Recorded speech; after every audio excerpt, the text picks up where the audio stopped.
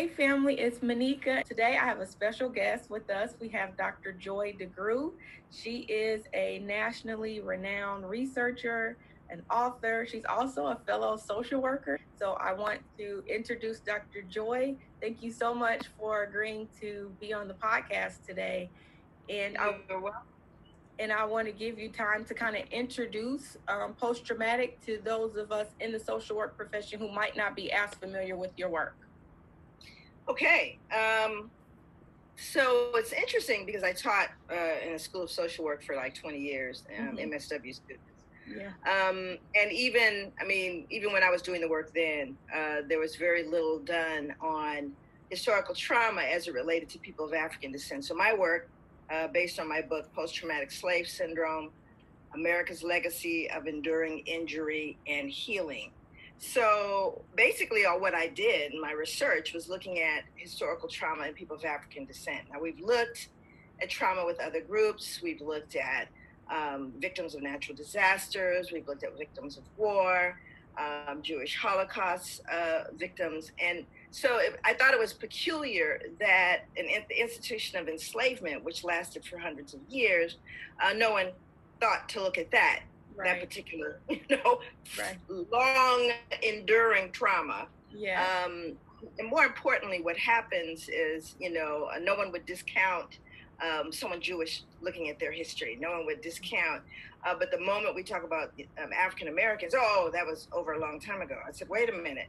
If I can experience uh, a traumatic mental health injury as a result of hearing about something horrific happening to someone I love, what do you think several hundred years of trauma produced? So my work was really looking at that and um, what it looks like. How does it manifest?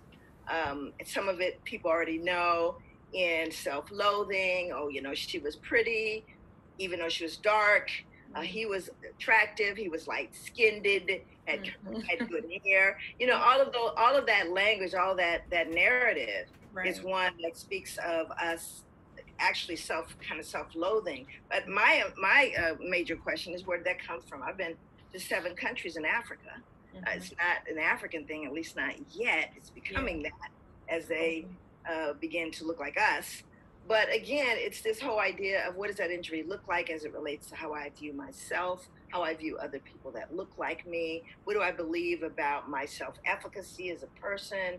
Um, and what do I believe about the systems of care uh, that are currently happening uh, as it relates to me, even looking at COVID, you can't Absolutely. avoid.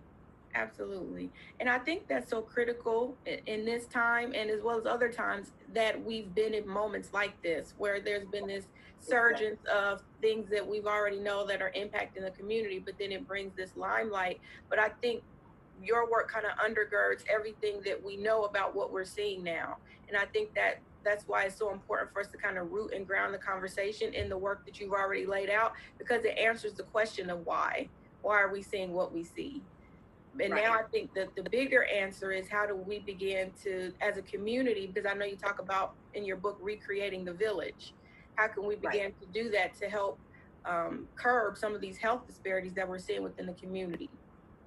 So, um, one of the questions that I wanted to ask you is um, with this enduring legacy, for those of us who are working in the profession of social worker, myself being a therapist in private practice, um, what do you think the harm or consequence is of us continuing to work within the system without us having this historical understanding of our oppression?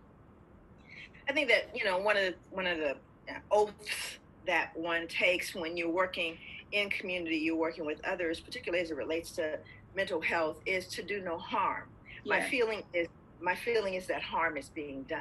If you don't mm-hmm. have enough information, um, you're going to harm people, right? Mm-hmm. So what we have to recognize that is a people that are in front of us, whether that you know we are African American and the, and the client is African American. Very often it's the opposite.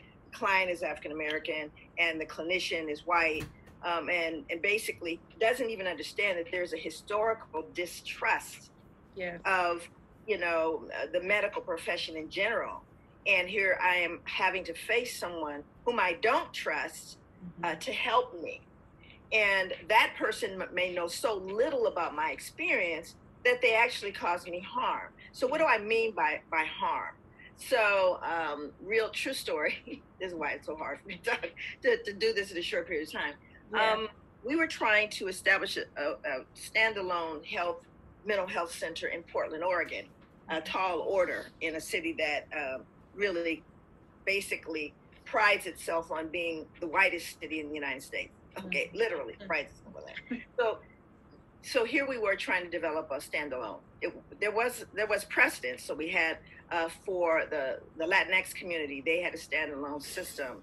Um, for uh, the Native American community, there was a standalone. For the Jewish community, there was a standalone mental health center. But for Black folks, uh, someone would would get the money coming down from the county, the city, the state, the feds, and go, oh, oh, we'll serve Black people. We'll put a pilot uh, program in the middle of the Black community because we want the money to serve you. Then we'll find some token Black people, nobody of, of authority, no one with um, you know, uh, that is a, a, manager or you know a, a director. It's going to be you know you know frontline staff, but that that would be your the point to which you're saying, oh, we have African Americans present. So now let's move it forward. True story. Uh, they did that in the black community because they wanted to get the money to serve the black community, um, and they figured, what do I need to know? Yeah. I'll just plop. You know, center down there in the middle. Right. And what happened is a gentleman shows up. He's maybe 6'5, 270, bipolar. Uh, has been off his medicine for a few weeks because he lost his job and he heard that the clinic could help him with his medicine, right? So he's coming in there for help. Right. One of the things that circulated a week before he showed up was a memo that the manager put out, a white female manager, that we will no longer serve angry or agitated black men. Wow. so this is a program to serve black people. So this black man shows up um, of course, he, you know, he not a single synapse is firing firing right for him. But when he walks in the room, who is there sitting before him? But Cindy Lou Who from Arkansas with her MSW. Mm-hmm. And uh, she's now at this point when she sees him come in the room, is turning the color of ripened fruit because right. she's now remembering all the things daddy told her about men that look like him. So now he shows up 6'5, 270 bipolar off his medicine for a couple of weeks. Mm. And he, even though he can't pull any of his, his thinking really fully together, he knows I better not scare that white girl. Right. Somewhere coming through that was don't scare the white girl. So he gets in the chair, he pushes the chair back, he turns, diverts his gaze, he tries to be as small as he can mm. because he can look at her and see that she's already frightened. And he's doing all that to take care of himself. So first, the first thing he has to do is take care of her. Mm. And and I would assert that that's harm to him. Right. Now her response, her resp- response is, "Oh, but I'm not a racist." My response is, "I don't care. Mm-hmm. 300 years of history entered the room, right. and you weren't able to navigate that space." Yeah. Because you didn't think there was anything more you needed to do but get, but get your MSW, which likely didn't cover people like him, mm-hmm. except to not deal with them. Exactly. So what I'm saying is it caused him, and I argue, you know, argue to the state at the state level. It took us seven years to get a standalone center. Hmm. Seven years. Um, because again, uh, what do we need to know to walk into a black community? Hmm. My, my, my, my MSW students inevitably, whenever I would ask them, okay, let, I, I just want you to sharpen your skills. Tell me what you're going to do. There's a huge influx of Romanians. Mm-hmm. What, what, what are you going to do? Hands go up. Oh, we want to consider uh, religion and language, and we want to consider um, gender issues, and all of a sudden, all this comes up, and I name different groups, and then I say African American community, and there's silence. Oh wow! And I say, so am I to assume that you don't believe that there's anything you need to learn to go into my community? Right. Right. Nothing. And then they get mad. Well, you're saying, I said, I'm not saying anything. You're saying everything right now. When you can't put anything on the board because you don't think there's anything more you need to know. Right. And see, again, that that sets up this dynamic. And even uh, students at MSW students that get sent out into the community to do their practice, you know, and they're in these um, field, you know, their field placements, and they don't have a clue. They do harm. they do harm. Yeah and um, say and do and behave in a way. And then their response is, well, you know, I'm feeling uncomfortable. okay. Yeah. Uh, but again, it's not totally on them because we have institutions that don't feel it's necessary to educate folks about anything. Absolutely. Absolutely. and I think that that is so important, especially when we're in this era of trauma informed care. And there's been all this language around ACEs and adverse childhood experiences, but it that does not contextualize what we've experienced as a culture. So there seem to be models there, but they don't encompass the depth or the breadth of what we experience. And then there's not that cultural, culturally competent base that was really embedded into our profession to be culturally competent, but the models just don't seem to be there. And I'm going to ask you about that later in terms of models. Um, so the, the next question that I wanted to know is, I mean, we know kind of what's going on on the political landscape, the social landscape in terms of COVID and the, the deaths that are still happening under COVID. Um, people in our community still dying. And I, I, watched a lot of your lives where you were talking about how we were using this term dying disproportionately, but that in and of itself speaks to post traumatic slave syndrome. And I know that you're really big about putting out there that you don't want this to be a pathology of, of Black people, but you just want this to be an understanding of kind of the to contextualize what we've experienced without putting a label, a mental health label on the community. Right. It's not something that should be in the DSM. Absolutely. Right. So, because in DSM, now what you've done is you absolutely pathologized Black people, and you've also said that there's someone that is going to come in that can fix you. Yeah. right. We're right. to find out what this is because what what post traumatic implies is not just that we have had historical injury and contemporary injury. We keep being injured, kind of hard to heal. Yeah. You keep breaking my leg and then you complain that I limp, right? Mm-hmm. So you you have this kind of ongoing process where uh, you're being assaulted, mm-hmm. but, but no, nobody's kind of um, understanding that you're that you're that you've been injured. Yeah. And so it's not about you know like again it's it's, it's not something you could fix in a uh, in a clinical setting because it requires social justice. Yeah. You got to stop hitting me, right? You got to stop doing these other structural, uh, institutional assaults. Right. Uh, so not just someone sitting in a room talking to me softly or medications that can fix this. Uh, what has to fix this is social justice. Okay. Totally understand and get that. So with within that system, kind of what you just explained, when you have to give so much validity to what we've experienced, how how do you help navigate um, people within the community and outside of the community who say that we're we're simply making excuses that the reason why we don't succeed is um, because maybe we're not working hard enough or we need to strive more or work harder? What would be your response to that narrative? Uh, my response would be that we worked free for over 300 years. Right. So uh, anybody talk about working harder? I don't know how much harder you could work than that. Yeah. Um, and then to have worked for 300 years for free and to end up uh, inheriting debt. Yes. Right? Because you, you didn't even own yourself, let alone anything that you you know you worked for. Uh, right. Uh, so there, there's a lot of layers. Like people say, well, you know, I wasn't, I didn't own slaves, and my family, you know, pulled themselves up from the bootstraps. I said, yeah, but we provided those bootstraps. Right. We right. provided them straps for free. We didn't have any boots. Uh, you know, like my father, my father would always say, if a if a you know white man has a cold, then a black man has pneumonia. So when you start looking at ACE, the ACEs study, adverse childhood experiences, you're going to go, okay. Uh, if, if you're talking about harm, that was done on about 16,000 majority white people. Absolutely. That's who the you know was they who they looked at. Right. Um, so again, you're gonna if you're looking at black folks, like uh, we were just recently, I was doing some work with um, some folks in New York, um, and they were talking about the digital divide, right? And they were saying with a, one of the, the, school districts that well, we're gonna get we're gonna get um, you know computers out to everybody, right, to kids. You know, but somehow the red line didn't didn't include the folks who were most at risk, the folks who, for example, didn't have internet. Mm-hmm let alone a computer. So you give them a computer, there's no internet, there's no fiber optics for it right. because it's not even piped for it because there's no intention of serving these people. Right. And then maybe it's a grandmother that's raising uh, the grandchildren and may not even understand how to navigate the technology. So we start talking about helping, you see, yeah. mm-hmm. um, without a, a, the proper lens, you can't help. Right. You don't even know how to help. So, right. like again, that's just one simple thing. We're talking about. Oh, great! Let's just get everybody a computer, mm-hmm. and then you're going to leave it. Well, they didn't access it. Well, really? Did they have? Did they even have? You know? Well, did, what, were they able to pay the electric bill that month? I mean, right. there's so many things that there's so many things that layers of oppression that are going on at the same time, and Yeah. people are navigating that. People are figuring out how to survive.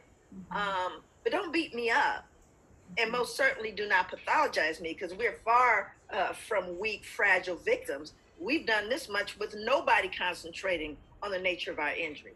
You right. see, so we've come this far with no help. Absolutely. And I'm saying, as Black clinicians, as Black social workers, uh, as Black psychologists, psychiatrists, what have you, um, we have a unique lens into the folks that we're working with. Yeah. And not to not to say that everybody that looks like us behaves like us, right? So you have not, you have you have you have I've run into teachers, administrators, uh, clinicians uh, that are so disconnected from themselves that the only thing they do when they see people of color is punish them. Mm. They, they punish them. Yeah. Um, and and I and, you know I've had I had students that would would uh, or, or that or folks that figure. Um, I had I had a student once that was unhappy with her uh, the clients she was working with, and I said, "Why is that?" She goes, "Because I don't know. Everybody just seems to be doing so well." I'm going, okay. So uh, again, in her mind, because her own experience had been consistent and perpetual drama, if Yeah. there's no continuing perpet- perpetual drama, it throws her off, right? Mm-hmm. So we had to deal with her doing her own personal work before she could actually do work with other people because she had herself become accustomed to crisis. She lived in crisis her, her for her own life. Does that make sense? And so I'm not. Um, so I and when when she would tell me that she was unhappy, I noticed that it would always happen when there was no drama going on with her clients. Hmm. And the only time she felt like she was really doing something is there was something, a crisis. But she Yeah. said it's born out of her, her own experience. And so, you know, again, how important is it to know um, your own narrative, have your own narrative, Yeah. right? and and that's Right. one of the things that I noticed that you mentioned in the book too about um, kind of language or, or telling our own story and how important that is for us to be able to reclaim our narrative, to be able to talk about our, our experiences and then how that's rooted in um, kind of how we show up in the world every day. And, and I know a lot of people say that we're not a monolith in terms of a people, but we did have a collective injury in terms of what we experienced and how that manifests itself in our families. Right. And see, the thing that's so amazing about Black folks, um, and what, what everyone always says is they go, well, you know, all Black people, well, all any people. Yeah. that goes without saying. You know, it absolutely goes without saying. But it becomes the, um, you know, uh, this kind of a, a, a concept of, well, you know, there's no, um, every she's she's trying to tell me that everybody. I said, why is it we could talk about everyone else's trauma and they not be, uh, you know, resigned to somehow uh, pathologizing the whole community or looking at all black people one way? Who does that? You know what I'm saying? And so, yet it's consistently, well, are you saying? I said, well, if you're talking about Jewish Holocaust, is every Jewish person experiencing or experiencing the same amount of trauma as with? Nobody's going to ask that. But when it comes to Black people, and part of that has to do with the dissonance, Yes. The cognitive dissonance that people experience talking about Black people at all. Mhm. I believe our very presence produces dissonance Mm, because you see, it's it's a reminder yes. and and it's not just back then it's right now Mhm. there's a, a I I have a, a, a picture of a woman who's protesting uh, the state's opening a white woman um, you know why aren't they opening and she has a picture of of an enslaved african and you know they used to put these big muzzles and things on black people chains and Yeah. all kind of things and she said no um, masks belong on slaves Hmm.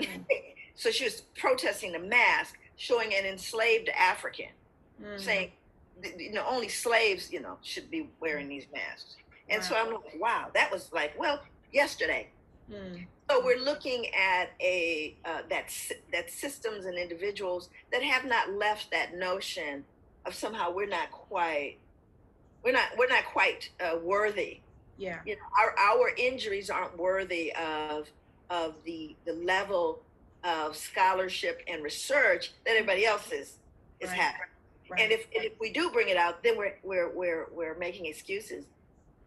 I mean, I mean, when I look at that, I'm going, where are we benefiting from that? yeah. You know, I mean, it, there's just it's it's it's a kind of a ridiculous assumption that always gets thrown out there. We have to be careful not to be become part of that. Right, absolutely. That's and I think one of the things that you just brought up is the ideology that perpetuates white supremacy and racism within African Americans and our identity is the same thing that seemingly perpetuates it in white identity as well. Right. Not being able to let go of those ideas. Case, case in point, uh, recently, um, um, the the Yale Child Center uh, did some research looking at bias in teachers. They looked at something like 100, 126 teachers, something like that, and they showed them some videos and they said, please let us know if you see, uh, point out any um, potential uh, uh, problem behavior. That's what they asked them. Show us, you know, just look at this video. And what they did was they would ask them to press a, bu- a button if they were, you know, if they saw a potential problem emerging. And of course, uh, there were no problem behaviors in these uh, in these videos in these scenarios. Mm-hmm.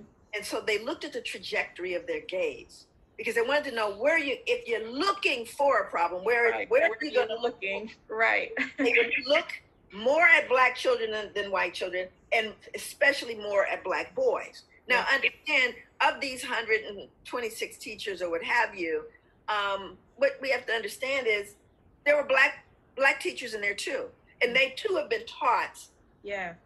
to see themselves as a problem.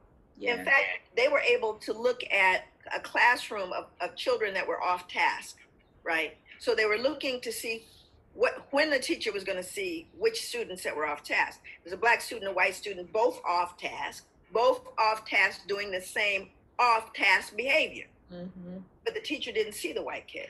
Every Right. single time it saw the black kid, Right. even though they were both, you know, uh, uh, actually reflecting the exact same behavior at the same time. But they didn't see the white kid. They saw the black kid because that's who they looked for. Right. Now, in our profession, most people would advocate some type of cultural competence training or some level of um, CEUs to help with that kind of um, um, phenomenon. Um, what do you think best positions someone who works within our community to, to not see that in our children? Not only not only a, a white teacher, but also black teachers as well. So what I advocate and what I do around the country is, you know, people will will hire me and they'll get the the just the clip. You know, they'll get the first little clip. I have a 10 week graduate level course that I teach. Mm-hmm. I teach it in the community. I teach it to parents. I teach it to uh, to youth. You know, I teach it to administrators, teachers, social workers, anyone you put in front of me. But it's certainly not something we can trivialize and we can just Yeah. say, "Oh yeah, additionally I could just, you know, go talk to a couple of black people, I'll be good." No, Right, right, Right. be trained like you need everyone else needs to be trained and my my work not only explains the nature of the injury but what is working what are the evidence-based models that are working with people that look like me Yes. right? so uh, again we're never asked and there's this assumption that people know what's best you Mhm. can't do that without engaging your community Right. you know and so part of the healing is engaging in relationships with the community which Right. is what every white social worker wants to avoid Mm, don't want to deal with them I, Right. here's my identified client as though they sprouted from nothing um, and i'm going to somehow sit in a room with them and they're going to be better i don't know anything about their family i don't even engage their family i don't even go into their community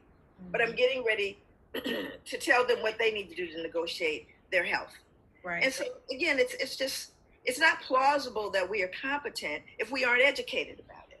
And Yeah. it's not just this, you know, oh my goodness, be kind to Negroes month. Oh, here's a good great great time to focus in. You know, if you would work with any other people, if you work with victims of rape, you know, you ordinarily when you're working with them, don't put them in the same room with people that are going to trigger that injury yeah. so you, you you're going to be careful. You're not going to get you know um, Bernard, you know, from you know a great social worker LCSW. I'm not putting him in there with her, Right. right? Because I'm understanding the nature of her injury.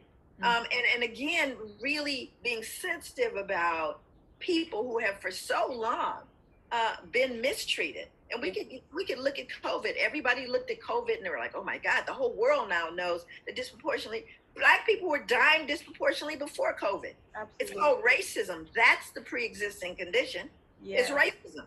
You know, and so there's this kind of, oh my God, it's black. Why are you surprised? We're we're we're topping the charts with health, you know, uh, with heart disease and hypertension and uh, diabetes. This is no nothing new, but right. it just kind of. And again, even when you start looking at the, the the the level of care, and this is you know just on a personal level, you know, I have a family member that had it not been for advocacy, would have been allowed to let die. Just 46 years old with no pre-existing conditions other than racism. And and again, there was a, a difference in the level of care she received based on the level of advocacy. Hmm. So I brought in a friend of mine as a doctor to speak with her doctors. And all of a sudden, on a dime, her entire care changed. changed. Because yeah. there's a doctor looking at what you're doing. Mm-hmm. And so you have to also recognize that white supremacy doesn't stop with policing or the folks carrying the, the, the signs like the woman with the, you know, uh, only slaves and, you know, anyway. Yeah. So yeah. Th- that mentality is, is re- there everywhere. So we can't assume that the nurses, doctors, and staff who have not been breastfed on racism themselves. So if you have two ventilators, you have two ventilators, mm. you have three white people who need it and one black person. Mm-hmm who, who determines who gets it? And based on, well, let's look at the math, the likelihood of who will survive. You see, when you start going down that road, mm-hmm. th- which is where people go, and if you happen to be in there by yourself, right. you came here alone, mm-hmm. no one to advocate for you, that's right. frightening for me because I know too much about it at this point. Yeah. That you better go in there. And of course, not because of COVID, you can't go in there. Well, we're going to have to FaceTime. I'm going to send a drone in we're, we're going to do something because I'm going to look at you and I'm going to look at the person I love and I'm going to look at the level of care they're receiving. Now, it may sound paranoid, but the problem is people are following us, even though we are, we may be paranoid. I don't doubt that. Absolutely. And we have a reason to be, right? Absolutely. Um, so yeah, it's it's it's all, all it, there's nothing new going on except the rest of the world's being exposed to what we've always known. Right. And we have normalized those disparities. We've we have normalized disproportionality. It's almost like we say it, it rolls off the tongue as an acceptable thing in terms of uh, we're not trying to deconstruct the disproportionality or the or the overrepresentation. We just may, merely state it now as right. though it's a norm we should embrace and take. Oh yeah, of course. We're not going to look at why we are disproportionately impacted. We're not going to look at the neighborhoods uh, availability of like fresh fruit and vegetables, uh, the availability of uh, uh, chains of supermarkets that don't cost astronomical amounts. When we start looking at communities and how they're how they're built, mm-hmm. and all of the the businesses that are there, all of the you you can actually look at the kind of fast food, and I can tell you who lives in the neighborhood. Yes. So all of these things impact health. Right. And all of these things impact, you know, how we navigate. Mm-hmm. Uh, but everyone goes home and assumes that we have the same experience. Mm. You know? Yeah. And again, am I going to really tell you, Cindy, that from Arkansas? Yeah. That this is the first black person with a warm body you've been in the same room with? I don't think so. Yeah. And I shouldn't have to educate you in order for you to help me. Absolutely. And, and I think one of the things that you say that I, I really I recited a lot um, when you talk about these manifestations of our um, trauma you talk about how we've internalized some of those things within our community as being a part of our culture now. And you say um, that there's poison in the cookies. Poison and, in the cookies. Yeah. So um, what that means, or what I take that to mean, is all those adaptive ways or maladaptive ways that those traumatic experiences now show up in our culture. So can you talk a little bit about those um, those maladaptive or the uh, appropriate adapt- adaptation while living in a hostile environment? So, what happens, like for anyone? I mean, it doesn't matter if you're a victim of war. Uh, for example, uh, you'll find that children, children still play because children are children, right? But when they play, they may play. I'm going to shoot you. You fall in the ditch, and then we'll, we'll we'll switch, and you shoot me, and I fall in the ditch. So they are playing what they're seeing in their environment, mm-hmm. right? So they're playing war and death because that's what they see war and right. death. And so, what happens if you start looking at generations of people that have been taught that you're not only um, inferior to everyone else, you're not even fully human. Right. Okay, so we have dehumanized you. Mm-hmm. And um, but at the same time, like anyone else, you have to survive under this oppressive regime. So I always use the example that most people see, uh, and we've all seen. And I'll ask a question of my audience, and particularly if they're African Americans, doesn't matter what level of education. I'll say if you're in a bank and there's someone black in the bank, and they have children, and the children are like four, you know, five, that age. Where are the children in proximity to the parent? And everyone will go, just think about where are they? Oh, they're right next to the parent. Mm-hmm. Sometimes they're actually holding on. Yeah. Uh, and if they should just move to the right a couple of steps or to the left, the parent is going, oh, come get, get back over here, get back over here. Kid can't move. Mm-hmm. Well, one of the things we know, we know about secure attachment. We know how important it is for children at certain ages to learn a level of autonomy. In other words, to be able to explore safely in the environment. And so what happens is in the same bank that you have the little four, five, year olds that are next to their parents adhering because a kid can't move to the right or the left. A white kid is rolling around, oh, looking down the aisle, walking up, asking your name. Um, and so both sets of children, this is in you know a public setting. There's no education, no Professor Joy there, but there's an education going on. So the black child is learning something, and the white child is learning something. And the, what the black child is learning is I can't move and go and play like the white child because I'll get in trouble. Yeah. It's their world, not my world. Right. Now the parent hasn't, you know, the parent is, you know, just don't move. The white kid is looking at the black kid and going, huh, wonder what's wrong with them. They can't move. Mm-hmm. And so, what the child will ultimately do, because it is a task of development to be able to explore in one's environment and to find autonomy, it is a natural developmental stage. So, the black children eventually try to find a time to escape. So when the parent gets to the teller, and there's a, a little, you know, there's a the counter, the kids are lower than the counter, so they're trying to sneak and roll roll down underneath the counter because yeah. the parent can't see them. But there's maybe another black man or woman in the in the line in the back, mm-hmm. doesn't know this parent, but looks at the little kid, gives him the death stare. Yeah. And the little kid looks at this absolute stranger, gets back in line because now this parent has this parent's back. But what are we really? What message are we sending to that child? Hmm.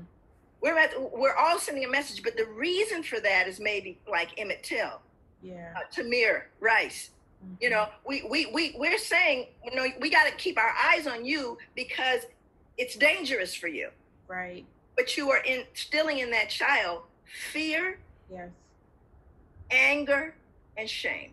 Mm because they don't understand you know and the, if you ask the parent why why can't the kid move they'll, they'll say they don't need to be moving why well where where were they in the bank well that's exactly where they were and they were right next to their parent so again it, be, it gets it becomes cultural passed along to the point where it becomes toxic yes so children should be able to move and play and explore yeah. they're not destroying anything they're not in trouble but i understand the fear we don't even know why we're so afraid of that. We don't know why it we, we get worried.